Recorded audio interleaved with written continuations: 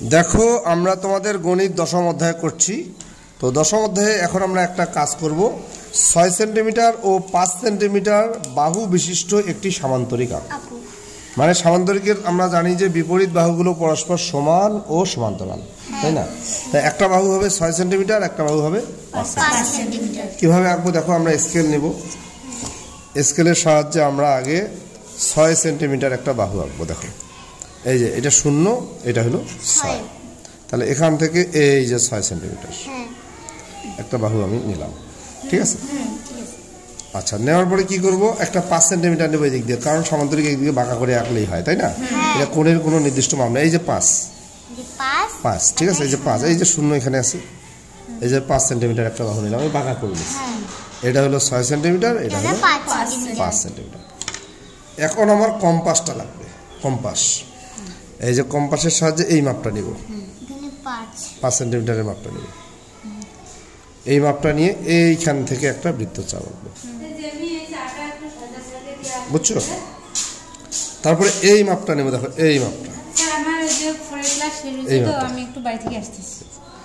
এই মাপটা নেব এখন ঠিক আছে? এই মাপটা নিয়ে এইখানে একটা বৃত্তচাপ আঁকবো। বুঝছ না? দেখো এই ছয় সেন্টিমিটারের মাপটা নিলাম এই যে এটা।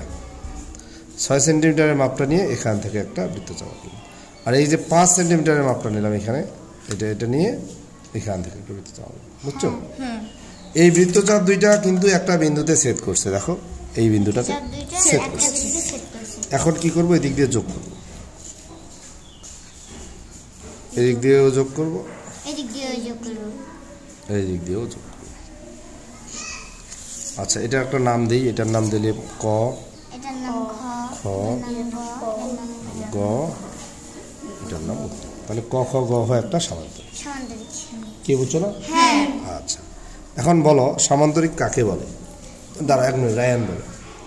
সামান্তরিক কাকে বলে বলো? যে ত্রিভুজের প্রত্যেকটি কোণ সমকোণ থাকে সমান্তরিক। যে ত্রিভুজের প্রত্যেকটি কোণ সমকোণ এটা সামান্তরিক এটা- কি ত্রিভুজ? যে চতুর্ভুজ এটা চতুর্ভুজ। আচ্ছা তুমি কি বলো? হ্যাপি বলো। চতুর্ভুজের বিপরীত বাহুগুলো পরস্পর সমান্তরাল। তাকে সমান্তরিক বলে গো কালকে তো পড়াইছিলাম তাই না? হ্যাঁ। যে চতুর্ভুজের বিপরীত বাহুগুলো পরস্পর সমান্তরাল সমান্তরাল মানে এই বাহুটা আর এই বাহুটা হলো সমান। সমান আর এই সমান্তরাল। হ্যাঁ, সমান্তরাল। আর এই বাহুটা আর এই বাহুটা সমান সমান। সমান্তরাল। মানে কি? Rail line. রেল লাইন মানে কখনো এক এক হবে না। কখনো এক এক হবে হবে না। না। কখনো এক বিন্দুতে মিলিত হবে না। তাহলে এখন সামান্তরিকের আমরা তিনটা বৈশিষ্ট্য বলব। আচ্ছা এক নম্বর বৈশিষ্ট্য ঈশা বলো। সামান্তরিক বিপরীত বাহুগুলো পরস্পর সমান্তরাল। ইয়েস সামান্তরিকের বিপরীত বাহুগুলো পরস্পর সমান্তরাল। হ্যাঁ। এটা এক নম্বর বৈশিষ্ট্য। দুই নম্বর বৈশিষ্ট্য তুমি বলো হেপি বলো। সামান্তরিকের কর্ণগুলো পরস্পর সমান্তরাল। সামান্তরিকের কর্ণ কোনদিন পরস্পর সমান্তরাল হয়। কর্ণগুলো তো এক জায়গায় সেট করবে এদিক দিয়ে একটা কর্ণ রাখলাম এদিক দিয়ে একটা কর্ণ এক জায়গায় তো লাগবে। সমান্তরাল মানে যারা এক জায়গায় লাগে না এক বিন্দুতে মিলিত হয় না ওইগুলোকে সমান্তরাল বলে তাই না? তুমি বলো। সামান্তরিকের প্রত্যেকটি আহ, সামান্তরিকের প্রত্যেকটি বাহু না দুই নম্বর বৈশিষ্ট্য হচ্ছে সামান্তরিকের প্রত্যেকটি বাহু সমান্তরাল। না। কেন এইটা বাহু আর এইটা বাহু কি সমান্তরাল হবে? না। তাহলে প্রত্যেকটি বাহু কি হয় বিপরীত বাহুগুলো পরস্পর বিপরীত বাহুগুলো সমান্তরাল এটা তো ঈশা বলছে এক নম্বর বৈশিষ্ট্যও বলছে ওইটা। হ্যাঁ। ঈশা তো বলল যে সামান্তরিকের প্রত্যেকটি বাহু বিপরীত বাহুগুলো পরস্পর সমান্তরাল তাই না?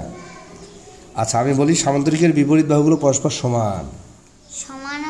হ্যাঁ সমান একটা হবে সমান্তরাল। সমান্তরাল দুইটা বলছি মানে একটা হলো সমান্তরাল আর সমান মানে এটা দৈর্ঘ্য সমান এটা ছয় সেন্টিমিটার এটাও ছয় সেন্টিমিটার। এটা মানে পাঁচ সেন্টিমিটার এটাও পাঁচ সেন্টিমিটার। ঠিক আছে? তারপরে সামান্তরিকের বিপরীত কোণগুলি পরস্পর সমান। মানে এই কোণ আর এই কোণ সমান হবে? এই কোণ আর এই কোণ সমান। বিপরীত কোণগুলি পরস্পর সমান। এই হলো সামান্তরিকের বৈশিষ্ট্য। বুঝতে পারছ না? আচ্ছা ঠিক আছে।